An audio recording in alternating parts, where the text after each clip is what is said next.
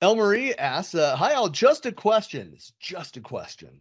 I want to have learners. So uh, I'm thinking this is Teams education sector. I want to have learners complete a questionnaire in a fillable PDF document through Teams. What is the best way to do this? Creating an assignment, etc., or is there another way? There's always another way. Yeah, there, there is. In fact, Well- multiple other ways. So yeah, yeah. Is a is a fillable PDF ever the right way? I don't think so. You can't do much off the back of it, really. It's like, what, I always have those questions. We get a question, and then I have a question. Why? Well, if I I just think about that too, to your point, 50 students, let's say, two one or two classes, whatever it is, 50 students, and then I have to dig through 50 PDFs Yeah. to find the responses. Yeah, yeah. Personally, I would be creating a Microsoft form and just dropping a form in and filling out a form. And then on the back end, at least it goes into Excel and it makes it much easier for you to mark and work with. And, you know, each one of those can be seen as a, yeah, I, I don't know, unless they need to be. Yeah.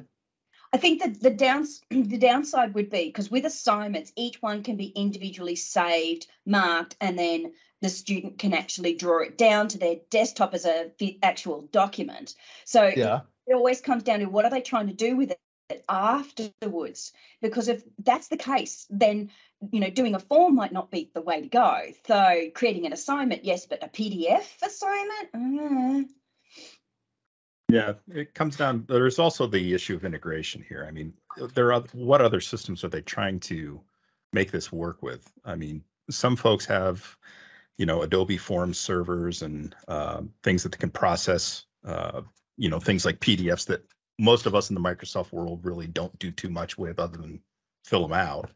So, but yeah, yeah it's the it, products clearly it, products that they have who knows what they have and and adobe would be a one if you don't even have Yeah. that the do, the adobe functionality then doing a pd fillable pdf is not going to work Yeah. right. Right.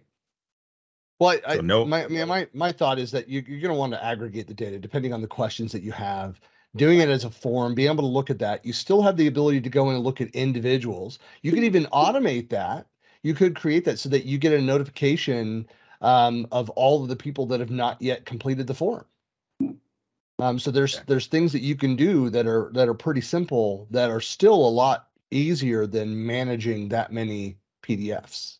Well, what about even using OneNote? Because one each student can have its own page, and they're filling it in on the page, and then that can actually still be saved as a as a document afterwards. It comes down to, I think, the fields, um, or are they better off to have a Word document that's got physical fields in it that they have to then fill in that you could put in, and maybe do it as a Word document and a- and do it that way. It, uh, for me, it comes down to um, the fillable PDF means fields, very specific thing, you know, an area that they want them to drop an answer into. And there's so many other solutions apart from a PDF that Right. might work better.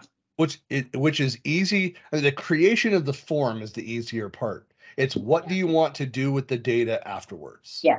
Yeah. and Well put.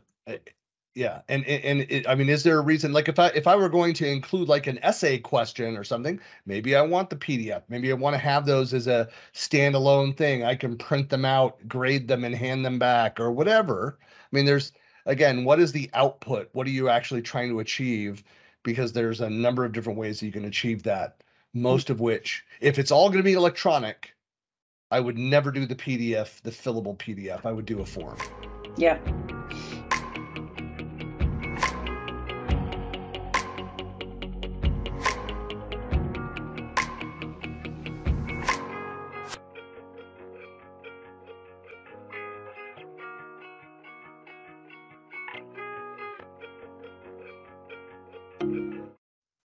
Ask away question.